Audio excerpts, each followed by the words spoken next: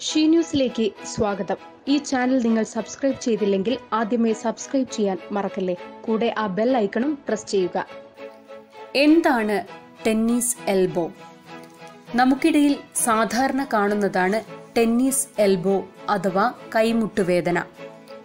ഈ രോഗം കൂടുതലായും ടെന്നീസ് കളിക്കാരിലാണ് കണ്ടുവരുന്നത്.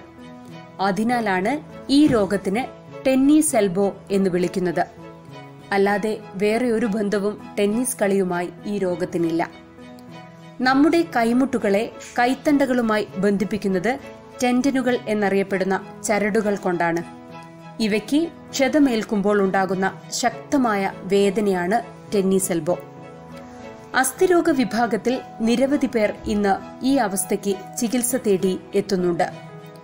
കായിക വിനോദത്തിൽ ഏർപ്പെടുന്നവർക്കാണ് ഇത് കൂടുതലും കണ്ടുവരുന്നത്.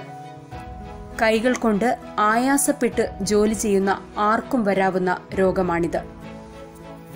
പ്രമുഖ ക്രിക്കറ്റ് കളിക്കാരനായ സച്ചിൻ ടെണ്ടുൽക്കറിന് അദ്ദേഹത്തിന്റെ കരിയറിനെ തന്നെ ബാധിക്കുന്ന രീതിയിൽ അസുഖം അലട്ടിയിരുന്നു. കൈമുട്ടിന്റെ പുറംഭാഗത്ത് അസഹ്യമായ വേദനയായിട്ടാണ് പലർക്കും ഇത് അനുഭവപ്പെടുക. കൈ ഉയർത്തുമ്പോഴോ മടക്കുമ്പോഴോ കഠിനമായ വേദന അനുഭവപ്പെടും. കൈമുട്ടുകളിലെ പേശികളിൽ വരുന്ന നീർക്കെട്ടും ടെന്നീസ് എൽബോയ്ക്ക് കാരണമാകുന്നതാണ്. ഭാരമുയർത്താൻ ശ്രമിക്കുമ്പോഴും വലിച്ചെടുക്കുമ്പോഴും വേദന വർദ്ധിപ്പിക്കാൻ സാധ്യത കൂട്ടും. തുടക്കത്തിലെ ചികിത്സ നടത്തിയില്ലെങ്കിൽ ശസ്ത്രക്രിയയാണ് പ്രതിവിധി. ഫിസിയോതെറാപ്പി പോലുള്ള ചികിത്സ കൊണ്ട് വേദന ഒരു പരിധിവരെ കുറയ്ക്കാൻ സാധിക്കും. കൈമുട്ടിൽ വരുത്തുന്ന ചില ക്രമീകരണങ്ങൾ വഴി ടെന്നീസ് എൽബോ കുറയ്ക്കാൻ സാധിക്കും. അതികഠിനമായ വേദന അനുഭവപ്പെടുമ്പോഴാണ് ശസ്ത്രക്രിയയിലേക്ക് നയിക്കുന്നത്. എക്സ്റേ രക്തപരിശോധന എം ആർ ഐ തുടങ്ങിയ പരിശോധനയിലൂടെയും ഫിസിയോതെറാപ്പിസ്റ്റിന്റെ സഹായത്തോടെയും ടെന്നീസ് എൽബോ തിരിച്ചറിയാൻ സാധിക്കും. കൈയിലെ പ്രധാന രക്തക്കുഴലിലേക്ക് ചെറിയൊരു സുഷിരം വഴി നടത്തുന്ന നൂതന ചികിത്സയാണ് ഇപ്പോൾ ചെയ്യാറുള്ളത്. ടെന്നീസ് എൽബോ നിസാരവും അതേസമയം വേദനാജനകവുമായ അവസ്ഥയാണ്. ഒരു വിഭാഗം ആളുകൾക്ക് ചികിത്സയൊന്നും കൂടാതെ ഭേദപ്പെടാറുണ്ട്.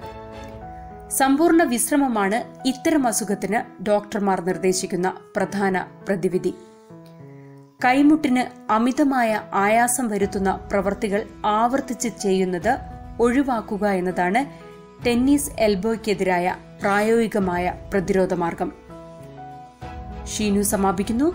നമസ്കാരം. The voice of women